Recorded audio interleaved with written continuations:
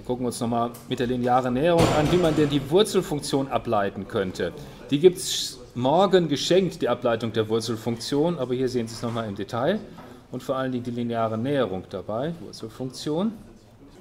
Die Wurzel aus 3 plus h, wenn ich die Wurzel nicht aus der Zahl 3 bilden will, sondern aus der etwas gestörten Zahl 3, dann soll das sein, die Wurzel aus 3 plus, jetzt schreibe ich mal hier m mal h plus klein o von h.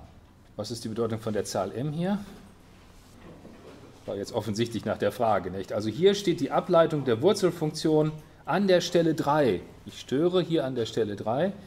Die Zahl, die da gleich steht als m, das ist die Ableitung der Wurzel an x gleich 3. Und wenn wir das in x gleich 3 können, können wir es auch an x gleich Pi und x gleich 42. Nehmen Sie mal diese Gleichung und quadrieren Sie. Und dann gucken Sie mal scharf hin, was m sein müsste. Das ist ja exakt. Ich nehme die lineare Näherung, schreibe hier noch den Rest dazu, der der fehlt, um exakt zu sein. Quadrieren Sie beide Seiten, bestimmen Sie m. Damit haben Sie zum ersten Mal im Leben wahrscheinlich die Wurzelfunktion selbst abgeleitet, statt die Formel einfach zu benutzen gedankenlos. Beide Seiten quadrieren. Links quadrieren, gut, dann kriege ich 3 plus h. Das ist ja der Sinn der Sache. Sie haben eine Wurzel, nehmen Sie Wurzel aus 42.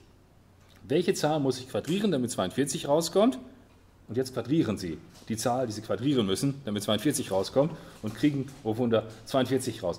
Ich muss vielleicht hin und wieder mit Vorzeichen aufpassen, aber hier mit Wurzel und dann quadrieren dieselbe Zahl kommt wieder raus. Wenn Sie quadrieren, kommt links dieselbe Zahl raus. Vielleicht schreibe ich mir das links und rechts quadrieren. Rechts quadrieren hat sich als ein, eine kleine Hürde herausgestellt. Denken Sie an sowas. 1 plus 2, wenn Sie das quadrieren, dann wollen Sie offensichtlich 3 Quadrat, also 9 raushaben. Das ist nicht 1 Quadrat plus 2 Quadrat. 1 plus 4 ist noch nicht 9. Sie kriegen noch 2 mal 1 mal 2 dazu. 1 plus 4 plus 4, das ist 9.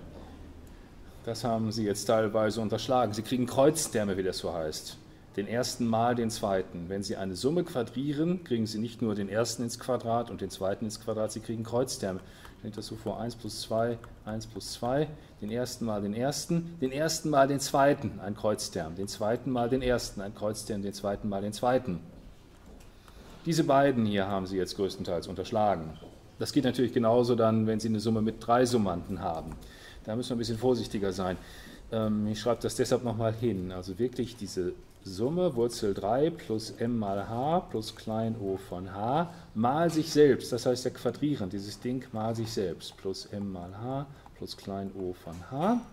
Und jetzt nehme ich natürlich nur die wichtigen Terme, die relevanten Terme. Das ist das Schöne mit dem O von H. Ich kann ganz viel einfach unter den Teppich kehren, mathematisch offiziell. Wenn Sie googeln wollen, das nennt sich, es ist eines der Landau-Symbole, Landau, eines der Landau-Symbole, der hat das erfunden. Mathematiker sind halt faul. Das sozusagen ein Symbol, mit dessen Hilfe ich was unter den Teppich kehren kann, ohne jetzt ganz viel hinzuschreiben. Wir nehmen den ersten mal den ersten. Wurzel 3 mal Wurzel 3 ist 3. Wir nehmen den ersten mal den zweiten. Das ist Wurzel 3 mh plus Wurzel 3 m mal h. Wir nehmen den ersten mal den letzten. Das ist was wie O von h, eine konstante Zahl mal etwas Irrelevantes, bleibt irrelevant. Wir nehmen den zweiten mal den ersten, m mal h mal Wurzel 3. So was haben wir schon, Wurzel 3 m mal h. Den haben wir jetzt zweimal. Wir nehmen den zweiten mal den zweiten, h Quadrat, den buchen wir als irrelevant weg. m mal h mal o von h, nun wirklich irrelevant. Und jetzt kommt o von h mal alles Mögliche, alles irrelevant. Sehen, wie schnell man so arbeiten kann auf diese Weise. Und jetzt sehen Sie, was m gewesen ist. Was ist die Ableitung meiner Wurzelfunktion an der Stelle 3?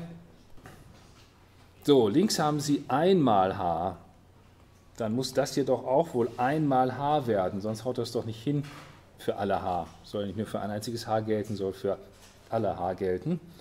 3 plus h soll sein 3 plus 2 Wurzel 3 m mal h plus Kleingeld. Dann heißt das, was hier steht, 2 Wurzel 3 m, das muss 1 sein. Einmal h steht links, dann brauche ich hier auch einmal h. 3 plus einmal h, 3 plus einmal h. Und damit lerne ich, m ist gleich 1 durch 2 Wurzel 3. Das haben Sie in der Schule gelernt.